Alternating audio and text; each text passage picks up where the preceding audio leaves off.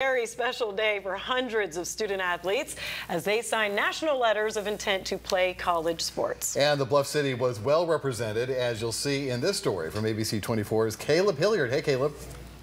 Hey, Richard. And as we all know, National Signing Day, a day with a lot of hats, a lot of tears, and a lot of speeches. Overall, it's a sacred day for student athletes to announce where they will learn and grow for the next four years. And less than 6% of high school football players go on to play at the next level. So the fact that we had so many Memphians signed to play college ball says a lot about high school athletics in the city of Memphis.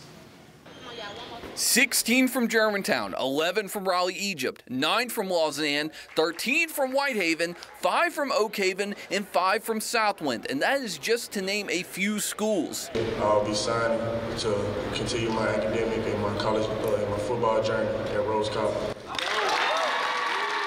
The day started out with an unexpected decision. Germantown quarterback Cordero Walker had multiple Division One offers, but decided to stay in Memphis and attend Rhodes College on a full ride. Schools all over the nation wanted me, uh, but I felt Rhodes was just the perfect spot for me. One of many emotional decisions today.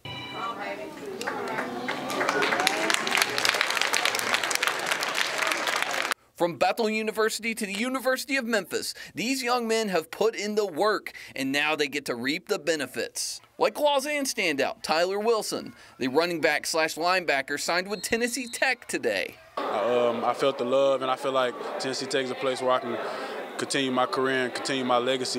Christian Brothers defensive lineman Will French, who is headed to Memphis. And another defensive standout, Cordova linebacker Xavier Green, who signed to play for Midlands University. Throughout the day, you could feel the love from the parents and role models who helped mold these young men into who they are today. In Memphis. I'm Caleb Hilliard.